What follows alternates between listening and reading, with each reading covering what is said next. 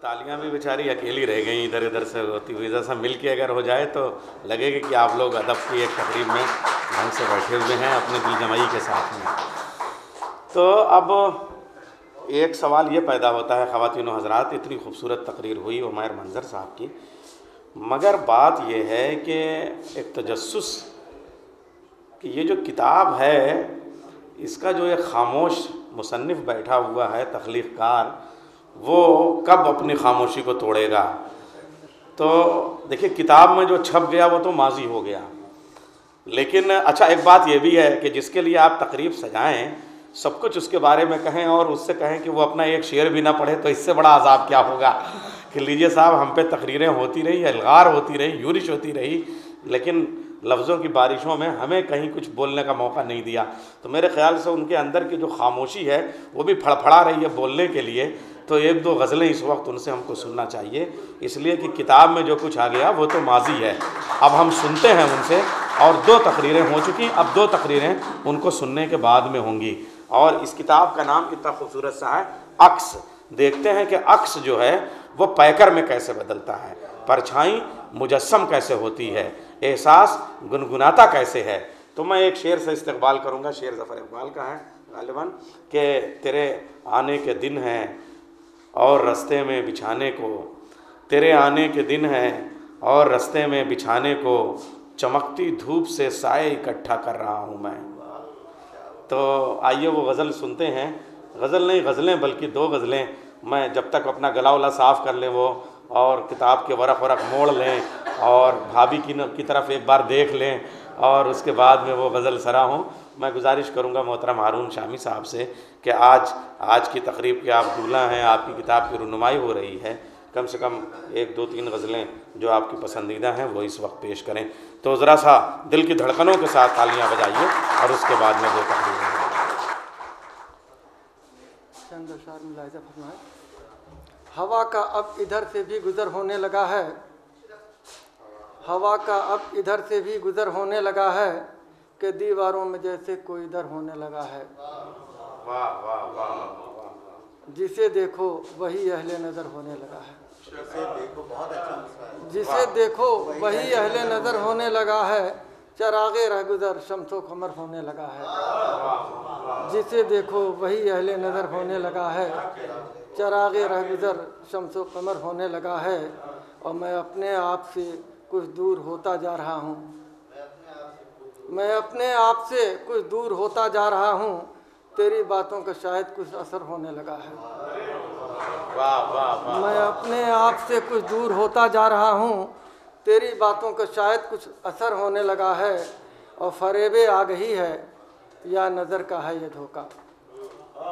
فریب آ گئی ہے یا نظر کا ہے یہ دھوکا جسے پتھر سمجھتے تھے۔ گوہر ہونے لگا ہے۔ جسے پتھر سمجھتے تھے، گوہر ہونے لگا ہے۔ اور یہ کیسا زہر انسانوں نے کھولا ہے فضا میں؟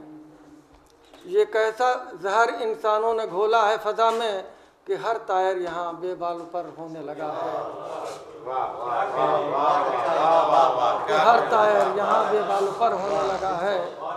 اور تیری دنیا نے شامی اس قدر دھوکے دیے ہیں۔ تیری دنیا نے شامی اس قدر دھوکے دیے ہیں کہ انسانوں سے کیا سایوں سے ڈر ہونے لگا ہے؟ انسانوں سے کیا سایوں سے ڈر ہونے لگا ہے؟ ذرا تو پڑھنے کی رفتار کم کر دیجیے اور آواز کی رفتار تیز کر دیجیے۔ اچھا اچھا۔ ہاں ٹھہر ٹھہر کے اور بلند آواز سے۔ مائک کام نہیں کر رہا ہے صحیح سے۔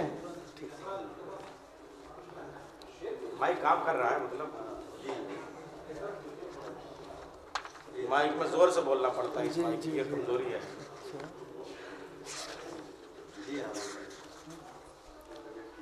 بہت اچھی غزل۔ پہلی والی غزل پہ تھوڑی تالیاں اور ہو جائیں اچھی غزل تھی۔ زندگی کے ساتھ میرا مسئلہ کچھ اور ہے۔ زندگی کے ساتھ میرا مسئلہ کچھ اور ہے۔ آئینہ اب بھی وہی ہے زاویہ کچھ اور ہے۔ زندگی کے ساتھ میرا مسئلہ کچھ اور ہے آئینہ اب بھی وہی ہے زاویہ کچھ اور ہے اور لوگ ان راہوں پہ چلتے ہیں کہ جو ہموار ہیں لوگ ان راہوں پہ چلتے ہیں کہ جو ہموار ہیں ہم سے دیوانوں کا لیکن راستہ کچھ اور ہے ہم سے دیوانوں کا لیکن راستہ کچھ اور ہے اور اس کی باتوں کو سمجھنا اتنا آسان بھی نہیں۔ اس کی باتوں کو سمجھنا اتنا آسان بھی نہیں۔ لفظ کے معنی ہے کچھ اور مدعا کچھ اور ہے۔ لفظ کے معنی ہے کچھ اور مدعا کچھ اور ہے۔ اس کی باتوں کو سمجھنا اتنا آسان بھی نہیں۔ لفظ کے معنی ہے کچھ اور مدعا کچھ اور ہے۔ اور خواب سے نکلو، حقیقت پہ نظر ڈالو میاں۔ خواب سے نکلو، حقیقت پہ نظر ڈالو میاں۔ زندگی خوابوں میں جینے کے سوا کچھ اور ہے۔ خواب سے نکلو، حقیقت پہ نظر ڈالو میاں۔ زندگی خوابوں میں جینے کے سوا کچھ اور ہے اور ایک عجب سی کشمکش ہے ذہن و دل کے درمیان۔ ایک عجب سی کشمکش ہے ذہن و دل کے درمیان ذہن کچھ کہتا ہے دل کا فیصلہ کچھ اور ہے ذہن کچھ کہتا ہے دل کا فیصلہ کچھ اور ہے اور کام آخر آ گئی شامی بزرگوں کی دعا کام آخر آ گئی شامی بزرگوں کی دعا ورنہ ہاتھوں کی لکیروں میں لکھا کچھ اور ہے کام آخر آ گئی شامی بزرگوں کی دعا ورنہ ہاتھوں کی لکیروں میں لکھا کچھ اور ہے۔ ایک غزل ایک غزل اور ایک غزل اور۔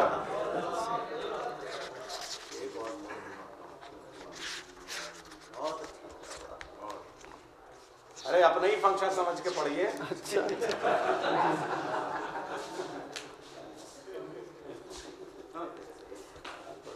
میں بار بار میں بار بار وہی ایک خواب دیکھتا ہوں۔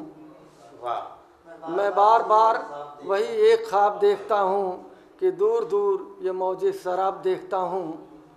میں بار بار وہی ایک خواب دیکھتا ہوں کہ دور دور یہ موج سراب دیکھتا ہوں اور تمام خلق خدا جانے کی عذاب میں ہے۔ تمام خلق خدا جانے کی عذاب میں ہے۔ زمیں کی قید میں ایک آفتاب دیکھتا ہوں۔ تمام خلق خدا جانے کی سزاب میں ہے زمیں کی قید میں ایک آفتاب دیکھتا ہوں اور نہ جانے کتنے یگوں کی ہے، نہ جانے کتنے یگوں کی ہے تشنگی دل میں۔ نہ جانے کتنے یگوں کی ہے تشنگی دل میں کہ زیر آپ بھی میں ایک شراب دیکھتا ہوں۔ کہ زیر آپ بھی، نہ جانے کتنے یگوں کی ہے تشنگی دل میں کہ زیر آپ بھی میں ایک شراب دیکھتا ہوں اور ہزاروں سال سے جیسے ہوں منتظر آنکھیں۔ ہزاروں سال سے جیسے ہوں منتظر آنکھیں۔ تیری نظر میں وہی اضطراب دیکھتا ہوں۔ تیری نظر میں۔ اور مجھے بھی آتا ہے لفظوں سے گفتگو کرنا۔ مجھے بھی آتا ہے لفظوں سے گفتگو کرنا۔ اگرچہ خود کو ابھی لاجواب دیکھتا ہوں، اگرچہ خود کو ابھی لاجواب دیکھتا ہوں اور لبوں سے ان کے محبت کے پھول جھڑتے ہیں۔ لبوں سے ان کے محبت کے پھول جھڑتے ہیں، دلوں میں زہر مگر بے حساب دیکھتا ہوں۔ لبوں سے ان کے محبت کے پھول جھڑتے ہیں، دلوں میں زہر مگر بے حساب دیکھتا ہوں۔ اور وہ کم سخن ہے، مگر کم نظر نہیں شامل۔ وہ کم سخن ہے، مگر کم نظر نہیں شامی۔ کبھی اسے، کبھی اس کا جواب دیکھتا ہوں۔ کبھی اسے، کبھی اس کا جواب دیکھتا ہوں۔